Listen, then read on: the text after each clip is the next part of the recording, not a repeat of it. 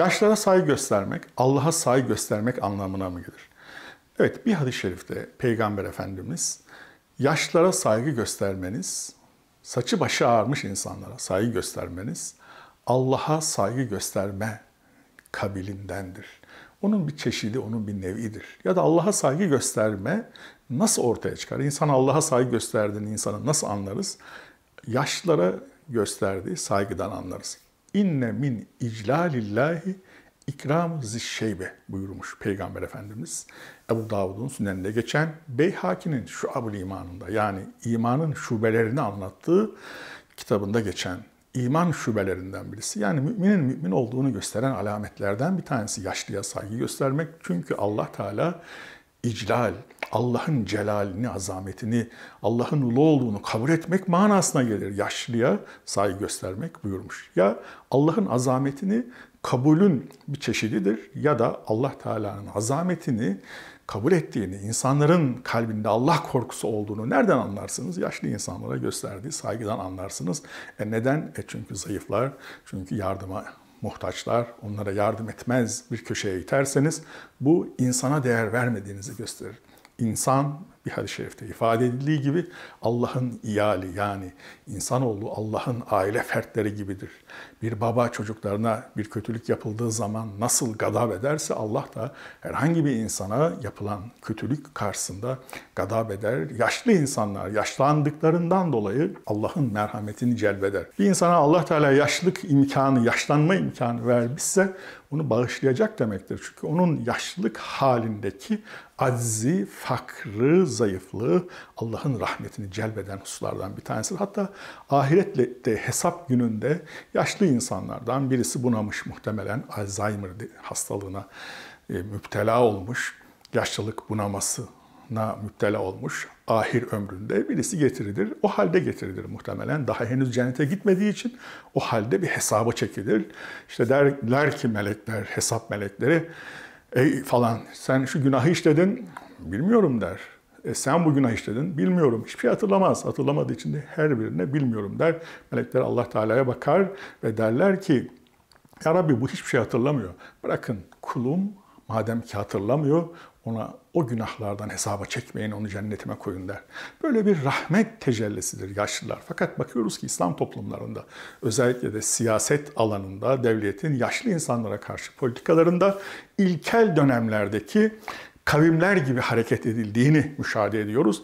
Avrupa'ya bakıyoruz, demokratik ülkeler, Allah'a inanmayan ülkelere bakıyoruz. İsveç'e, Almanya'ya bakıyoruz. Buralarda ise yaşlılara yaklaşık ayda bazı yaşlara 3 bin, 5 bin euroya varıncaya kadar devletin masraf ettiğini, her gün iki defa, üç defa hemşireler gö- gönderdiğini ve her türlü hayatın içindeki otobüse binme, duraklarda bekleme, şehrin içerisinde gezebilme, dolaşabilmek için her türlü imkanı engellere, yaşlara verdiğini müşahede ediyoruz. Peki neden kaynaklanıyor? Yani eğer imanın bir özelliği ise, insan insan olmanın bir özelliği ise, Allah'a saygının bir özelliği ise, niteliği ise yaşlıya saygı göstermek. Niye bizim toplumlarımızda yaşlı insanlar perişan ediliyor, canlarını okunuyor, hapishanelerde çürütülüyor? İşte Mustafa Türk, Mustafa Said Türk diye 86 yaşında %100 engelli bir insanın başına gelenleri müşahede ediyorsunuz. Adeta bir intikam alırcasına, intikam alırcasına, müthiş bir şeytani düşünceyle, duyguyla, yani başka türlü bunu izah etmek, şeytanca şeytanca bir dürtü dışında bunu izah edebilmek mümkün değil. Bu insan hayatı boyunca iyilik için çabalamış, insanlara yardım etmiş, çocuklar, talebeler okusun diye yardımda bulunmuş. Sizin inanmadığınız bir fikre mensup olabilir. Bu insan dinsiz olabilir, imansız olabilir. Buna rağmen böyle olduğu halde yaşlılığından dolayı saygı göstermeniz lazım. Kendi inancına göre yap ettiği şeylerden dolayı saygı göstermeniz gerekirken sizin en muteber politikacılarınız bile onun dindarlığına, Müslümanlığına şahit. Bu insan hacca gitmiş, insanlara yardım etmiş, Kur'an okuyanları desteklemiş, oğlunu, çocuğunu Kur'an okusun diye adeta adamış bu insan. Bakıyorsunuz ki yapılan eziyetler, işkenceler, yapılan zulümlere bakıyorsunuz. Bu zulümler karşısında insanın dudakları uçukluyor. Yahudileri katliama tabi tutan Nazi subaylarına bile yaşlılıklarında Almanlar böyle davranmadı. Kendi milletinin içinden çıkmış o yaşlı insanların, Nazileri destekleyen o partiden olan insanların on binlerce insanın rahat bir şekilde sigortalarını, maaşlarını alıp köşelerinde rahat bir şekilde emeklilik hayatı yaşamalarına bu toplum müsaade etti. Çünkü yaşlı insanlar neyin intikamını alacaksınız yaşlı insanlardan? 80 yaşındaki insandan neyin intikamını alacaksınız? O insan size nasıl bir kötülük yapabilir? Nasıl bir şeytani dürtü sizi böyle bir insana, yaşlı bir insana, %100 engelli bir insana şeytani bir dürtü dışında ifade etmek mümkün değil. Yani hukuk ve intikam duyguları bunu ifade etmiyor hukuku bir tarafa bırakıyorsunuz. intikamı, insanı hırsları, intikamla, intikamı bir tarafa bırakıyorsunuz. Her şeyi bir tarafa bırakıyorsunuz. Ondan sonra diyorsunuz ki yani ancak şeytan böyle bir şeye düşman olur. Şeytani bir dürtü bunu mazur gösterebilir, bunu makul gösterebilir.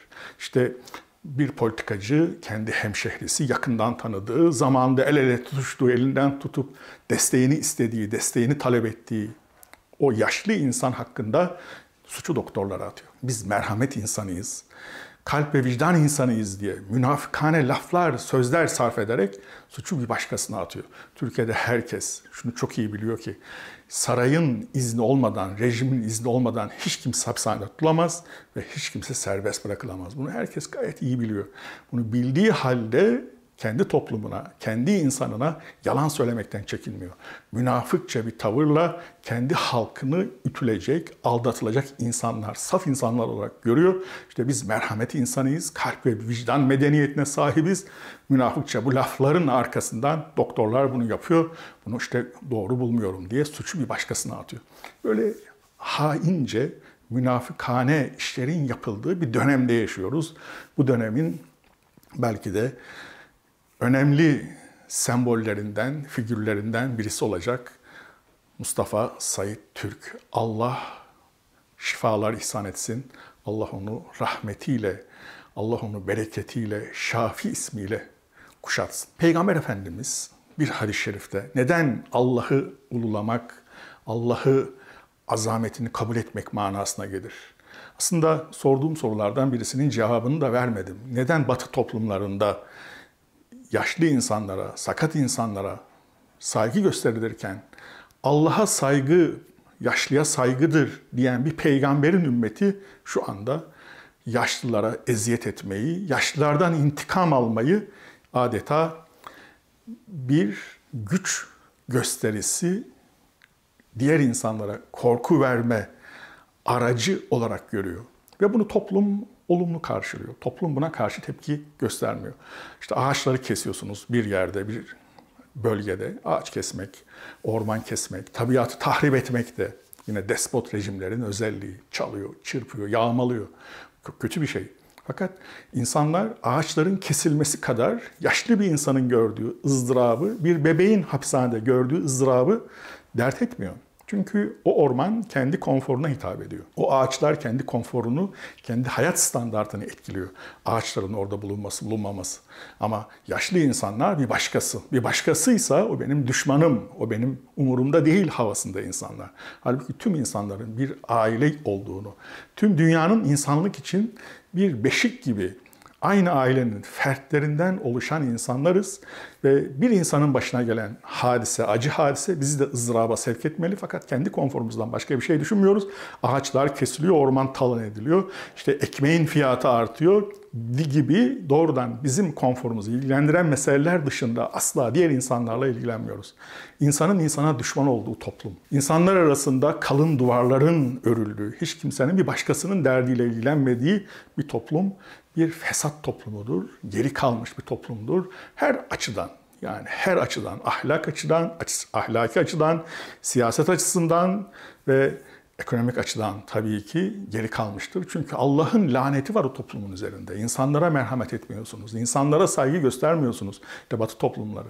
Belki farklı bir yoldan, akıl yoluyla, belki bilim yoluyla, tecrübeyle zayıflara, çocuklara, yaşlılara saygı göstermenin insan olmanın bir gereği olduğunu fark ettiklerinden dolayı Allah Teala onların bu farkındalığına mükafat olarak onlara refah gönderiyor, rahatlık, ekonomik rahatlık gönderiyor. Bize ise zahmet düşüyor, sıkıntı düşüyor, krizler düşüyor. Peygamber Efendimiz Aleyhisselatü Vesselam. Leyse minna men lem yerham sagirena ve la yuvakkir kebirena ve la ye'mur bil maruf ve la yenha münker. Bakın çok temel şeyleri Peygamber Efendimiz hadis-i şerifte ifade etmiş. Efendimiz leyse minna diyor, bizden değil. Yani teberri ediyor. Benim onunla alakam yok. Bu insanlarla kimle alakam yok? Küçüklerimize merhamet göstermeyen insanlarla alakam, irtibatım yok. Bebeklere, hapislere dolduruyorsunuz. Yaşlılarımıza saygı göstermeyen insanla benim alakam yok. Benim irtibatım yok. Bu benim dinimden, Hz. Muhammed'in ümmetindenim diye söylemesin, iddia etmesin. İyiliği emredip kötülükten sakındırmayan insanlarla benim alakam yok diyor Peygamber Efendimiz. Küçüklere merhamet göstermek, büyüklere saygı göstermek, iyiliği emredip kötülükten, insanların kötü bildiği şeylerden, insanları sakındırmak, toplumu sakındırmak, mümin olmanın, Müslüman olmanın gereği. Benim bunları yapmayan bir insanla alakam, irtibatım yok. Bu benim dinimden, benim ümmetimden değil diyor Peygamber Efendimiz ve bunlardan teberri ediyor. Efendimizin kimlerden teberri ettiğine bakılırsa bu teberrinin yani şeytandan teberri, şeytandan, şeytanlaşmış insanlardan teberri işte uzak durma, alakayı kesme, irtibatı kesme bu hususun yaşlılara saygı göstermeyen insanlarla, çocuklarla alakalı da zikredilmiş olması bu meselenin ne kadar ehemmiyetli olduğunu, insanın insanlığını, medeniyet seviyesini gösteren ilkelerden, prensiplerden bir tanesi sosyal sorumluluk, iyilikleri emretmek, kötülüklerden sakındırmak, yaşlılara saygı göstermek, sakatlara saygı göstermek, küçüklere merhametle, şefkatle davranmak medeni olmanın gereği. Hadis diye rivayet edilen bir hadis-i şerifte şuyuh fi ehlihi yani ailesi içinde, toplum içerisinde yaşlı insanlar kennebi fi ümmetihi buyurulmuş.